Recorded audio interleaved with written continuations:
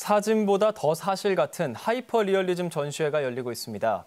어린아이의 눈으로 바라본 전시와 좌충우돌 사랑 이야기를 다룬 연극까지 문화가 산책 장수정 아나운서가 소개합니다.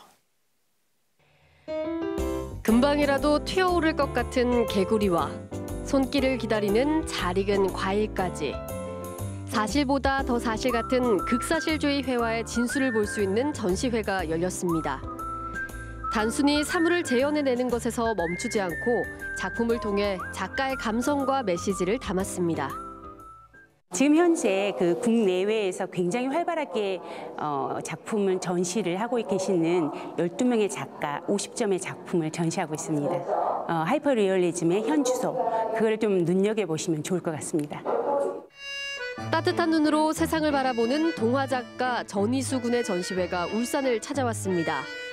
부드러운 색감의 그림과 삐뚤빼뚤한 글씨로 써진 글에서 전 작가의 위로가 고스란히 전해집니다. 가족과 자연 그리고 사랑을 담아낸 작가는 주로 자신의 곁을 지키는 존재의 소중함에 대해 표현했습니다. 순수하고 따뜻한 글과 그림으로 표현하고 있어 사람들에게 감동과 위로를 전하고 그리고 어, 묵직한 울림도 주고 있어 이번 전시를 기획하게 되었습니다. 아이의 눈으로 바라본 세상이 화폭에 담겼습니다.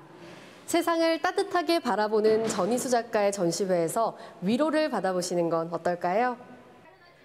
운명을 믿는 여자 전보니와 자신의 의지로 운명을 개척해온 남자 재테쿠의 좌충우돌 사랑 이야기 운빨 로맨스가 연극으로 찾아옵니다. 웹툰 속의 매력 만점 캐릭터들을 탄탄한 연출과 연기력으로 무대에서 선보입니다. 청춘 남녀의 코믹하면서도 애틋한 사랑 이야기가 가을의 로맨틱한 감성을 자극할 예정입니다. 문화가 산책 장수정입니다.